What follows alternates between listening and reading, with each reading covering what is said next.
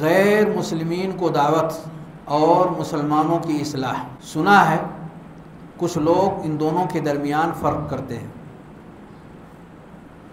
کچھ لوگ ان دونوں کے درمیان فرق کرتے ہیں کہ غیر مسلمین کو جب خیر کی طرف بلایا جائے تو اس کا نام دعوت، اور مسلمانوں کو جب خیر کی طرف بلایا جائے تو اس کا نام اصلاح ہے۔ اصلاح کے معنی کیا ہے؟ کسی چیز کو درست کرنا۔ اور دعوت کے معنی کیا ہے؟ خیر کی طرف بلانا۔ اب وہ خیر کا ایک عام مفہوم ہے، بر کا مفہوم عام ہے۔ اس میں بڑا سے بڑا خیر داخل ہے اور چھوٹا سے چھوٹا خیر داخل ہے۔ اسی لیے نبی کریم صلی اللہ علیہ وسلم نے فرمایا مند اللہ خیر فلاح مصر و اجلی فعلی یہ بعض روایت میں ہے کفا علی ایک اور روایت میں ہے، لَأَن يَهْدِيَ اللَّهُ بِكَ رَجُلًا وَاحِدًا خَيْرٌ لَكَ مِنْ حُمْرِ النَّعَمْ یہ اس کی فضیلت کہ اللہ ایک شخص کو آپ کے ذریعے سے ہدایت دے دے، یہ بہتر ہے بنسبت ایک سرخ اونٹ کی۔ اور اگر آپ خیر کی طرف لوگوں کو بلا رہے ہیں تو آپ کو اس کا ویسے ہی اجر ملے گا جیسے کہ کرنے والے شخص کو اللہ رب العالمین اس کے عمل پر اجر دے گا۔ سیم اجر۔ دراصل یہ دونوں ایک ہی مفہوم کی عکاسی کرتے ہیں۔ یہ دونوں الگ الگ نہیں ہیں، ایک ہی جیسے غیر مسلمین کو بلایا جانا مقصود ہے، خیر کی طرف مسلمانوں کو بھی بلایا جانا مقصود ہے خیر کی طرف۔ تو کیا مسلمان خیر پر نہیں ہیں؟ ہیں خیر پر۔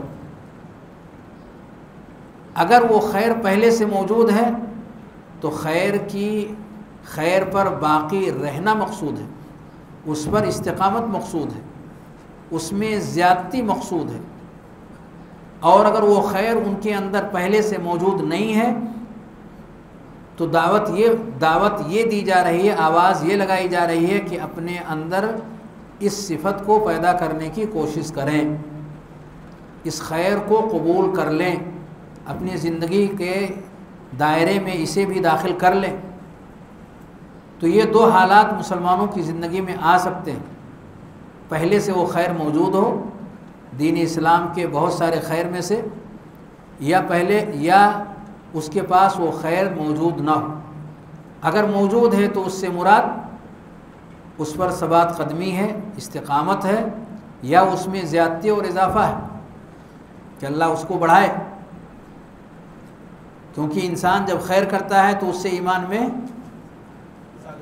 اضافہ ہوتا ہے، ایمان بڑھتا ہے۔ جتنا بھی خیر کرتا جائے گا، ایمان اس سے اس کا بڑھتا جائے گا۔ وہ اداۃلیت علیہم آیات ہو زیادہ تم ایمان تو اس سے ایمان میں اضافہ ہوگا۔ اور یا وہ خیر اس کے یہاں موجود نہیں ہے، تو دعوت یہ دی جانی مقصود ہے کہ اپنی زندگی کے اندر اسے بھی داخل کرنے کی ضرورت ہے۔ اور ہم خود خلوف السلم کافہ کے حوالے سے پورے پورے اسلام میں داخل ہوں۔ اسلام کے سارے شعبے اور سارے حصے کو ہم اپنے اندر جگہ دیں۔ بٹوارا نہیں ہے، بلکہ سارے ہی اوصاف اور ساری ہی باتیں ہر مسلمان انہیں اپنانے اور اپنی زندگی کے اندر انہیں لانے کی کوششیں کرے گا۔ غیر مسلمین کا بھی یہ معاملہ ہے۔ اسٹپ بائی اسٹپ وہ دین کے مکمل مخاطب ہیں۔ دین اسلام کے مکمل مخاطب ہیں۔ لیکن سوم و سلاد کی ادائیگی اگر وہ کرنے لگیں تو اس اس کا عذر انہیں نہیں ملنے والا۔ جب تک کہ وہ پہلے مرحلے سے گزر کر کے آگے نہ بڑھیں۔ اور پہلا مرحلہ ہے شہادت اللہ الہ الا اللہ و ان محمد الرسول اللہ۔ جیسا کہ نبی کریم صلی اللہ علیہ وسلم نے کئی احادیث کے اندر، خاص طور سے حضرت معاذ ابن جبل رضی اللہ تعالیٰ عنہ والی حدیث کے اندر اس بات کی تصریح فرمائی۔ تو اگر یہاں سے اپنے معاملے کا آغاز کرتا ہے تو صحیح رخ پر اس کی دعوت کا سلسلہ آگے بڑھ رہا ہے۔ ورنہ وہ شخص مخاطب ہے فروع دین کا بھی، دین کے تمام احکام اور مسائل کا بھی۔ اور آخرت میں اس کی پکڑ صرف اس پر نہیں ہوگی کہ تم ایمان کیوں نہیں لائے، بلکہ سوم و سلاد پر بھی اس کی پکڑ ہوگی۔ تم نے نماز کیوں نہیں پڑھی؟ اس کا جو گناہ ہے۔ اور بھی بہت ساری نیکیوں کے دروازے ہیں۔ جو کر سکتا تھا، پر اس کی مخالفت کیا۔ ہر ایک پر اس شخص کی پکڑ ہوگی اور اس کے گناہ میں مزید اضافہ ہوگا۔ تو جیسے مسلمان مخاطب ہے، پوری شریعت کا، اور اسے دعوت دینے کی ضرورت ہے، بلانے کی ضرورت ہے کہ اسے اپناؤ اور اپنی زندگی میں لاؤ۔ ایسے ہی پوری شریعت کا مخاطب غیر مسلم اور کافر بھی ہے۔ اسے بھی دعوت دینے کی ضرورت ہے کہ آپ اس شریعت کو، اس دین کو قبول کر لیں۔ لیکن یہ تب آپ کے لیے نفع بخش ہوگا جب آپ شہادت کے راستے سے آگے بڑھیں گے۔